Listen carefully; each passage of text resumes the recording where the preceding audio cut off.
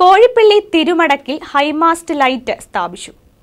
വാരപ്പെട്ടി പഞ്ചായത്തിലെ കോഴിപ്പള്ളി തിരുമടക്ക് അമ്പലംപടിയിലാണ് high mast light സ്ഥാപിച്ചത്. Antony John M L A switch on കർമ്മം നിർവഹിച്ചു. ആസ്തി വികസന ഫണ്ടിൽ നിന്നുമാണ് ലൈറ്റിനുള്ള തുക അനുവദിച്ചത്. ഗ്രാമപഞ്ചായത്ത് president P K Chandrasekharan Nair Angel Mary Joby Sreekala Divya Sali George P D Mani തുടങ്ങിയവർ പങ്കെടുത്തു.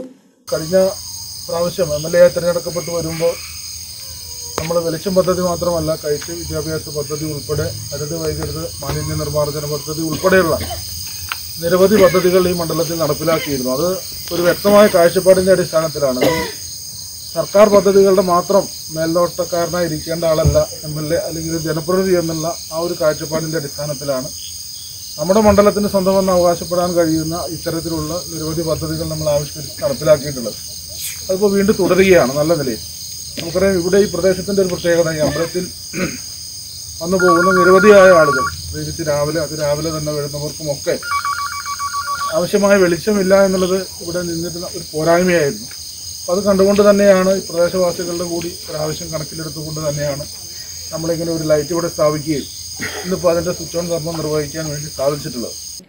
K C V news Varappetty.